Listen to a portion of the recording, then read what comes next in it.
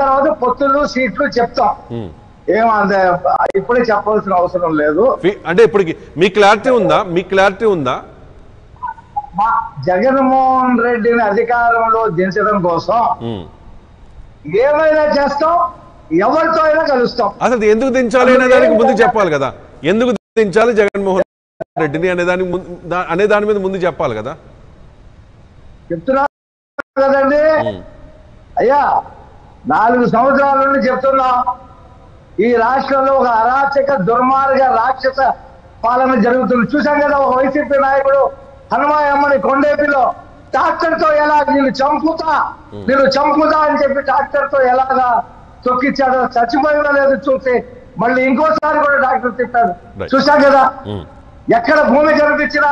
దోచేస్తా ఉన్నారు కదా. ఎక్కడ మట్టి కనిపించినా దోచేస్తా ఉన్నారు కదా. ఇసుక ఇవాళ ఇసుక చంద్రశేఖర్ గారు రమ్మనండి.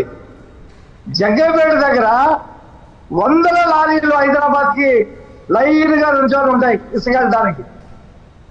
మెడ్రాస్ వెళ్తున్నాయి ఇసుక వెళ్ళిపోతా ఉంది. బెంగళూరు వెళ్తా వెళ్ళిపోతా ఉంది. ఎక్కడ కట్టడి చేశారు. ఇసుకలో మీరు రాష్ట్రానికి ఇచ్చేది సగం మీరు దోచుకునేది సగం. మధ్యలో మీరు ప్రభుత్వానికి ఇచ్చేది సగం మీరు దోచుకునే ఇది అందరూ చెప్తున్న మాటే. మరి ఢిల్లీ పంపించట్లేదా సార్? ఏదైనా బ్యాగ్స్ ఏమైనా ఢిల్లీ పంపిస్తున్నారా? చెప్పాలి మరి. చాలా సార్లు మరి చాలా సార్లు ఢిల్లీకి సూట్ కేసులు వెళ్తున్నాయని చెప్పి మీలాంటి వాళ్ళు కామెంట్ చేశారు కదా? మరి దీనిలో దానిలో కొంచెం వాటా వాళ్ళకు కూడా ఏదైనా వెళ్తుందా అని? మేము మేము ఎప్పుడు కామెంట్ చేయలేదు చేయని మాటని మా మీద పెట్టి నా చేత Right, sir. మాట్లాడి మేము ఎప్పుడు ఆ మాట Hmm, hmm. ఇప్పుడు విశాఖపట్నం ఉమ్, విశాఖపట్నం దశప భూములు ఎర్రమట్టి కొండలండి సినిమాల్లో తీస్తారు. Hmm.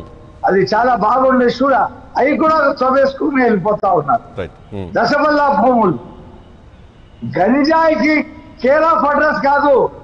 క్యాపిటల్ కింద మారింది ఆంధ్రప్రదేశ్. ఏ రాష్ట్రంలో గంజాయి పట్టుకున్నా సరే అది ఆంధ్రప్రదేశ్ నుండి విశాఖపట్నం నుండి వచ్చిందని చెప్పేసి అంటా ఉన్నారు కాబట్టి ఇవాళ ఈ రాష్ట్రంలో జరుగుతున్నటువంటి ఈ చూశారుగా?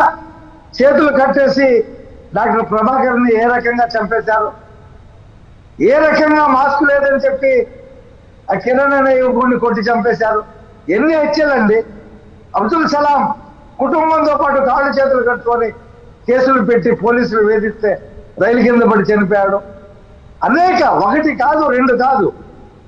డ్రైవర్ని ఒక దళిత డ్రైవర్ని చంపి డోర్ డెలివరీ తీసుకొచ్చి ఇదిగో మీరు అంత్యక్రియలు చేసుకొని నేనే చంపాలని చెప్పి ఎమ్మెల్సీ స్వయంగా తీసుకొచ్చి ఇంటి దగ్గర పడేస్తే ఎమ్మెల్సీ మీద చర్యలు. అతను జైల్లో వస్తే పెద్ద ఊరేగింపు. నిన్న మా దగ్గర విజయవాడలో ఎమ్మెల్సీ ఉమ్.